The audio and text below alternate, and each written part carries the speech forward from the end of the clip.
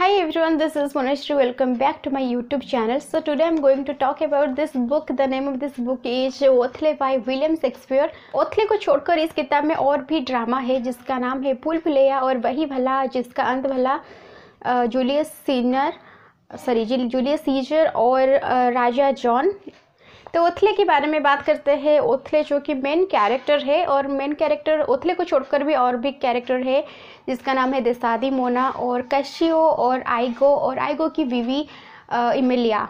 तो आज का वीडियो एक शॉर्ट वीडियो होने वाला है तो मैं आपको इस किताब की इस बुक समरी बता देती हूँ। तो कहानी में ओथले जो है वो एक वीर है और साहसी योद्धा है। तो देसादी मोना का पिता के पास वो काम कर रहा है और कहानी शुरू होता है इटली के विनीश नगर में। तो ओथले दिखने में इतना अच्छा नहीं है, वो दिखने में काला है, पर उसकी इंटरनल ब्यूटी जैसे कि वो एक वीर है और योद्धा है और साहसवान है, इसीलिए सब उससे प्रशंसा करते हैं और देसादी मोना भी उसकी इंटरनल ब्यूटी को देखकर उसे पसंद करता है। तो देसादी मोना की पिता ओथले के साथ उसकी शादी हो ये नहीं चाहते थे, पर बाद में वो राज़ी हो गए और देसादी मोना के साथ ओथले की विवाह हो गया। तो कैसिया नाम का एक सैनिक जो कि उनकी सेना में है, वो ओथले और उसकी बीबी देसादी मोना से बहुत अच्छे से मिलता है और कैशियो एक बहुत अच्छा आदमी है, वो और एक कैरेक्टर है जिसका नाम है आयोगो, जो कि खड़ प्रकृति का आदमी है और उसकी बीबी जो इमिलिया, वो देसादी मोना की सेविका है।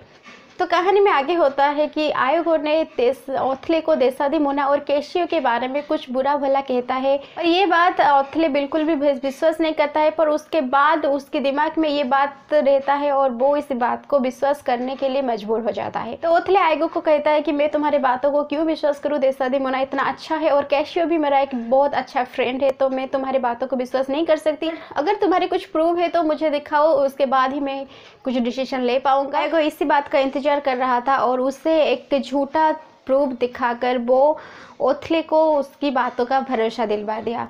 उसके बाद ये होता है कि ओथले उसी बात को अपने दिमाग में रख कर वो बहुत टेंशन में पड़ जाता है और वो अपनी बीवी देसादी मोना की हत्या कर लेता है। और उसके बाद जब उसकी बीवी और उसकी फ्रेंड के बारे में उसे पता चलता है कि वो सब सही थे और आयोगो गलत था तो आयोग उसे धोखा दे रहा था। ये सब जानकर उससे बहुत बुरा लगता है और वो अपनी बीवी और फ्रेंड के लिए बहुत बुरा फील करता है और वो अपने आप को मार डालता है और यहीं पर कहानी का अंत हो जाता है। तो कहानी के अंत में उस मेन कैरेक्टर के अंत हो जाता है। कहानी बहुत अच्छी है, अगर आप ये बुक पढ़ोगी तो आपको पसंद आएगा। तो फिर आज का वीडियो एक शॉर्ट वीडियो था तो तो फिर वीडियो को यहीं पर ख़त्म करते हैं। अगर आपको वीडियो पसंद आया तो प्लीज़ वीडियो को लाइक कीजिए और चैनल को सब्सक्राइब करना मत भूलेगा। Thank you so much for watching this video